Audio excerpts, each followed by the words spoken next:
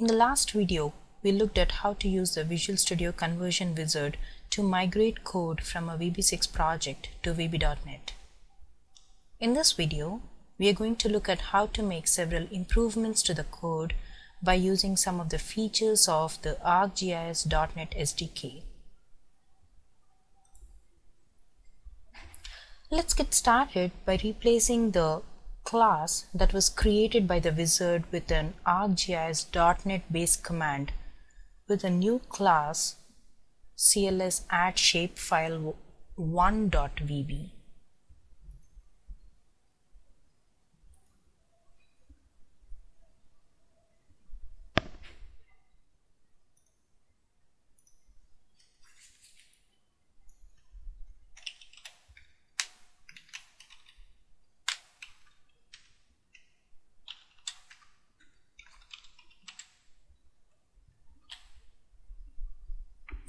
When the ArcGIS New Item Wizard option dialog box opens, choose Desktop ArcMap command and click OK. Let's now turn our attention towards bitmap. Earlier, we did not do much with the bitmap. In the Solution Explorer window, right-click cls add shapefile.bmp and delete it. This is a default one that comes with the base command when you create a base command. In the Solution Explorer window, right click, add existing item, and this is a CLS add shapefile.bmp. I would like to rename it to match it with the name of the base command and add it. Since the bitmap name is the same as the name of the class, the bitmap section placed there by the IDE integration will use the bitmap added. Now I select the bitmap and change the build action property to embedded resource. The next step is to add appropriate code to the constructor of the base command. Notice that all the properties are empty strings and I need to update their values for this command corresponding to what we had in the raw converted file.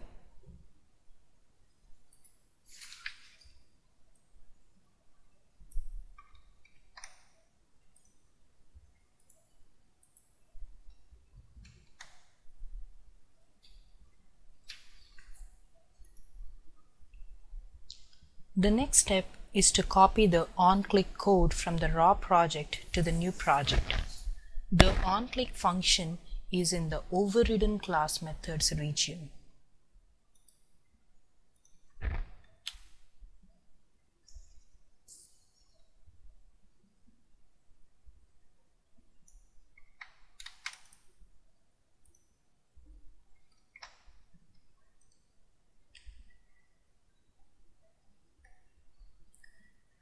There are two errors here.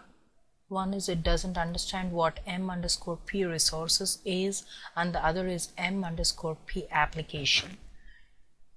When I create the base command m underscore p application as i application creates automatically for me. So I just need to replace this m underscore p application p app with m underscore application. And now I need to see how I can resolve this issue with m underscore p resources. So if I look at the previous file,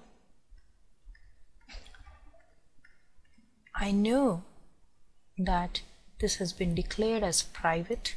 So I copy this code here and paste it. So now it knows what exactly is m underscore p resources. In addition to it, there are also various instances where m underscore p, ref p resources are found. So I find all references and go and see where exactly each one is. So now here there is a co there is a procedure which is class initialize renamed. So I would like to use that. Paste it and then we also have another procedure.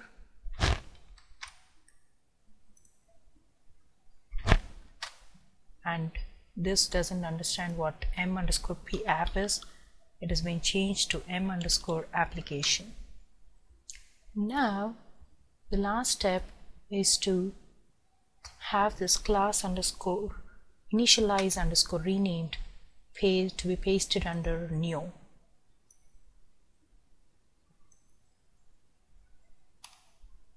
So I'll go ahead and paste it right here. Now the now the next step is to get rid of the cls add shapefile this way I'm actually getting rid of all the i command. So yes I would like to delete it. And because I don't have the VB file so I don't even see a point keeping the BMP so I go ahead and delete that. Okay let me go ahead and build the solution. Builds okay. I have ArcMap open here. I want to add the shape file by opening the customize dialog box and looking for it in the developer samples. I've add shape files. Notice the BMP file associated to this command. I click on this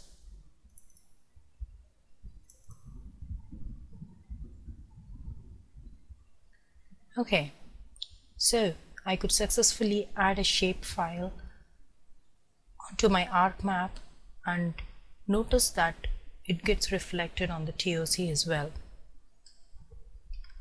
In summary, we looked at how to take advantage of ArcGIS.NET SDK framework features to improve our code. We saw the benefits of using .NET by being able to take advantage of the object-oriented behavior of the language itself. We had to make few adjustments to the code after the .NET Wizard converted the existing VB6 project. Edits were not as many and overall process was simple and straightforward. I hope you find the video useful. Thank you for listening.